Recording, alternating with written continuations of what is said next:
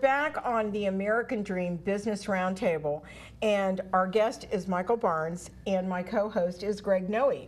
And you know, Greg, it's funny, but you know, you want to talk about the Excelsior Group. Well, I worked for three nonprofits actually, and so I really understand the nonprofit aspect. So it must be easy for you, Michael, because where some of the people or some of the companies and corporations that you worked for have a nonprofit status, correct? Correct. Children's Hospital. Right. Right.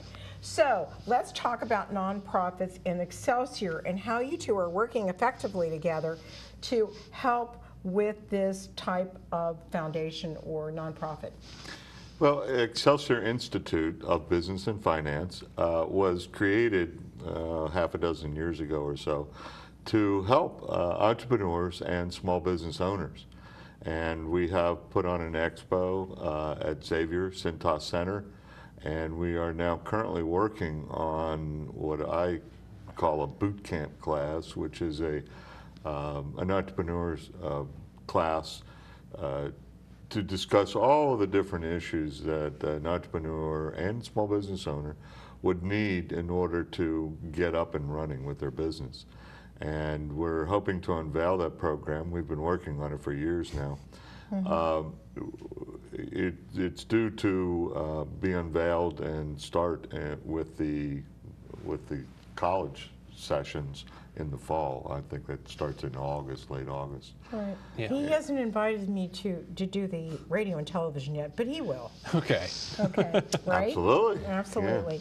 Um, actually, Michael, um, what will you be doing in this in the relationship Mm-hmm. to this program? Are you teaching? In relationship to this program, yes. Um, I have already given a few uh, seminars, sort of trying to lay the groundwork and get some attention. And then during the boot camp, I will be doing some more of the sessions, do some of the teaching.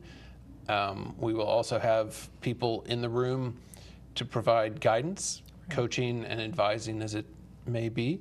And so I'll be there for that. The mentoring. Yes. That's really, I think that's really important to have that, especially if you're a young business or you're an inventor. Now, a lot of companies start with inventions, mm-hmm, correct? Mm-hmm. And right before the show, we talked about that a little bit because I work with inventors mm-hmm. that come up with products or services, right? That usually call me in the very beginning of it and say, I need help. I have the great invention here, but I don't know what to do with it. So then I bring a team of people on board to help them in different respects. Okay. And that's how it works. Mm-hmm. And I think that's the reason why originally when I met Greg, I met him through my referral organization. Mm-hmm. And uh, he came to the meeting mm-hmm. and we started getting to know each other because he, one of the people that that I have had on our referral organization is Mark Dare. Yes. And Mark does all of my websites and everything Oh, that I excellent. do. So Yeah. I have a team of people that I work with. And so I really would like to ask you the key areas that you emphasize in your business and what you would do with nonprofits. What I would do with nonprofits, it's honestly, it's very similar to a for-profit business. Um, a lot of people think that they're very different, but you have to bring money in. You have expenses. You have perhaps paid employees, but certainly um, volunteers, and so it's building almost the exact same uh, fundamentals. You have to get uh, control and understand how to run the basics of your business then you need to develop systems so that anybody can do it. In fact, it, in many cases, it's more important for a nonprofit because uh, one example that I like to use is if you have a soup kitchen and you you know you think it's really easy. I want to set up a tent on the corner in the city and hand out soup. Well, it's simple in concept, but you need to write down every single step. Otherwise, one of your experienced people always has to be there. But if you write down the entire system, then any volunteer can come in and do it by themselves. It's And al- and it's almost like franchising in a sense with the book of franchise, you know, the, the instruction manual, the different steps. Absolutely. It's the same thing with a nonprofit. Mm-hmm. And you have to answer to a board, usually, Well, the- and your accountant and your lawyer. I know. Yeah, there are some fundamental differences, though, Right. in that the, in the franchise model, the franchisor has gone through those steps. That's right. And laid out the, the game plan, and oftentimes, uh, with a nonprofit, uh, you, the leaders uh, are left to do them, that work themselves. Sure. So that's a fundamental difference is the management of the organization. No one owns a nonprofit, Right. even though we, some people will say they do, but they really can't. Uh, under the law, that's not allowed. Uh, so that's a fundamental difference.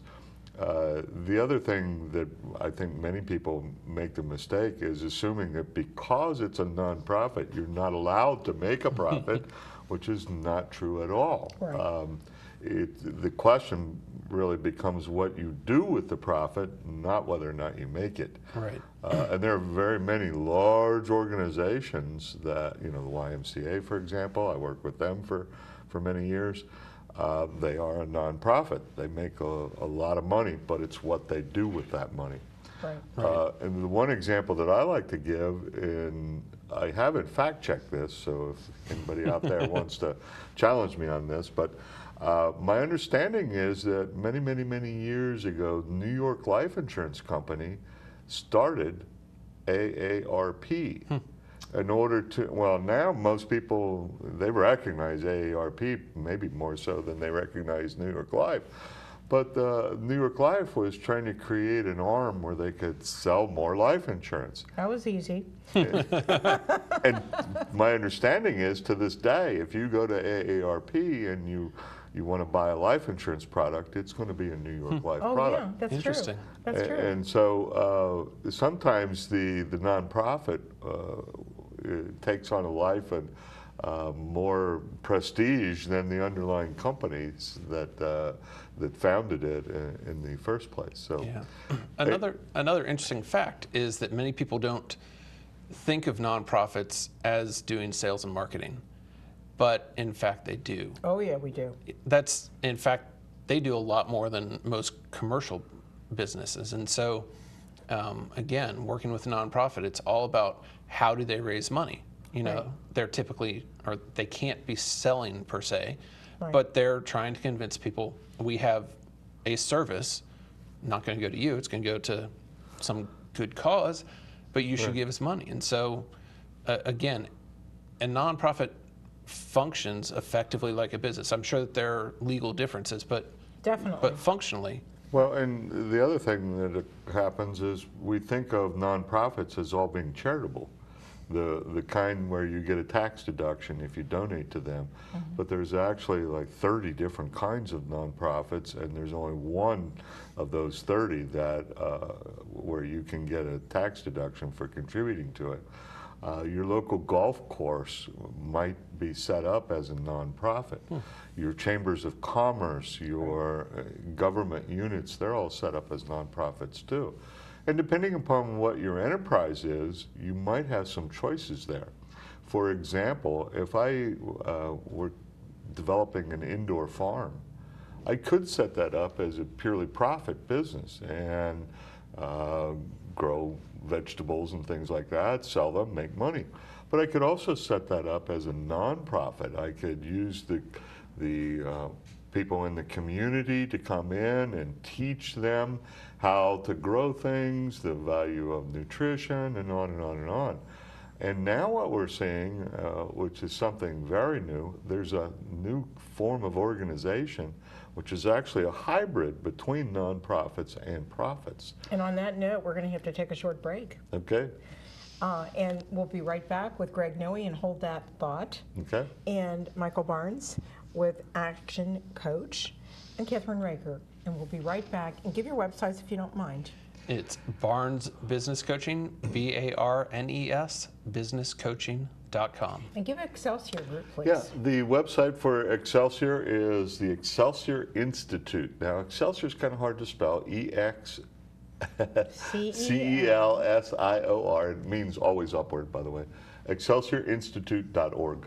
And we'll be right back right after these messages.